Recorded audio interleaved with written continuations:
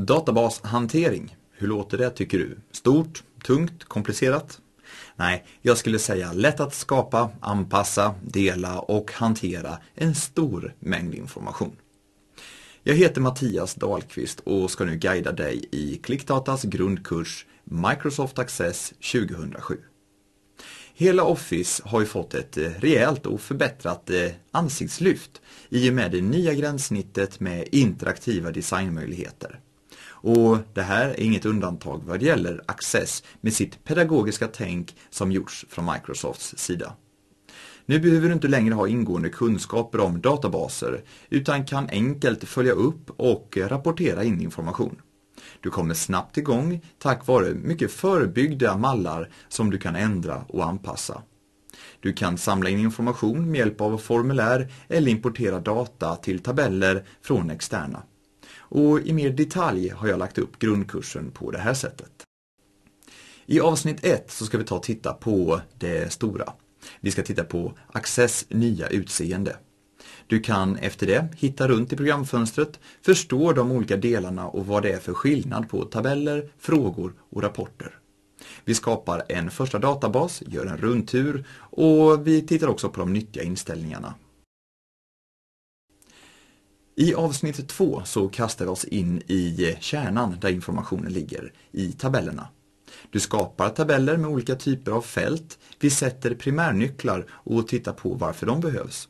Vi sparar också tid med att vi återanvänder en färdig tabellstruktur och tittar på de olika tabellverktygen. När du vet hur en tabell fungerar så ska vi på direkten fylla med information genom att exportera från andra tabeller och montera in. Och då även från andra programfiler och andra programtyper.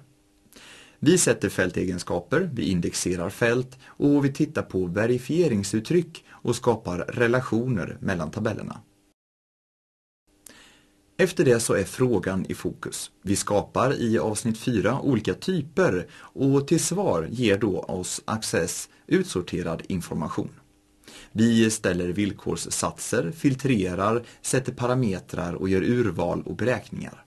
Enkla funktioner som med lite kreativitet kan få riktigt stora konsekvenser. För att sen kunna hämta eller lägga in information i databasen så gör vi det med olika typer av formulär. Formulär är alltså ansiktet utåt. Vi gör det genom guider eller för hand i avsnitt 5. Vi visar vilka tabeller i ett och samma formulär som eh, gör att man snyggt kan ta till sig, alltså från flera olika håll i ett och samma. Sist så skapar du rapporter för att kunna ta del av sammanställningar och skriva ut snygga listor och underlag. Vi tittar på rapporternas olika delar och gör grundläggande redigering. Vi skriver också ut både etiketter ur adressregister och själva rapporterna och tittar då på vilka olika utskriftsinställningar som vi har. Övningarna som ligger med i exempelmappen de bygger parallellt mot det som vi gör här i kursen. Så om du hoppar runt lite i kursen så är det bra att du öppnar föregående avsnittsfil och utgår från den. Ja, mycket på menyn som vanligt. Vi kör igång. Välkommen! När du startar Access så är det just det här som vi alltså får se. Och vi har längst upp en mallkategori och här har jag nu aktuellt valt. Och det gör att jag till exempel kan gå ut i det här tredelade fönstret och i den övre delen här kan jag då välja en tom databas om jag vill eller så kan jag klicka mig neråt här och leta efter olika typer av mallar. I det här fönstret som ligger under, ja, går vi lite neråt där, så ser vi att här kan vi då alltså lära oss dels om nyheten i Access och du har lite andra länkar där du kan gå in och titta på för att lära dig mer om hur programmet funkar och snabbt komma igång. Men om vi går upp igen så ser vi att jag också kan hoppa över till kategorin för lokala mallar och då får du en lång lista här då med de olika mallar. Och om du inte är nöjd och hittar den mall du vill ha, ja då kan du koppla upp dig mot Microsoft Office online. Men då behöver du alltså internetuppkoppling. Då kommer du till Microsofts hemsida där vi då kan ladda hem flera andra mallar. Men som sagt, lokala mallar, då behöver vi inte ha uppkopplingen. Utan här kan vi då bara klicka på den mall som jag skulle vara intresserad av. Om jag då markerar till exempel elever så kan vi gå ut här i kanten och titta på den.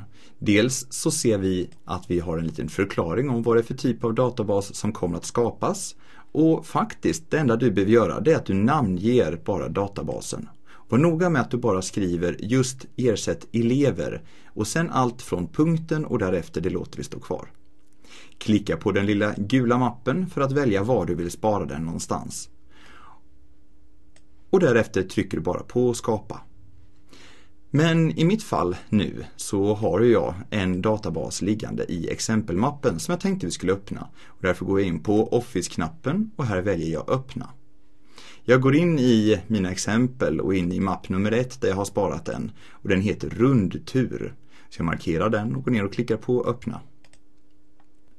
När du öppnar en databas så ser vi att det alltid kommer upp en säkerhetsvarning. Och då är det visst innehåll i databasen som har inaktiverats så vi klickar på alternativ. Om du inte vet vad det är för typ av databas, ja då kanske du bör fråga den som har skickat den eller skapat den och därmed skydda datorn från okänt innehåll. Det rekommenderas givetvis. Men jag vet ju vad det är jag har gjort så jag tar och aktiverar innehållet så vi får se allting i databasen. Jag klickar på OK. Och då försvinner den här skyddande balken och nu har jag alltså fått upp min databas. Rundtur.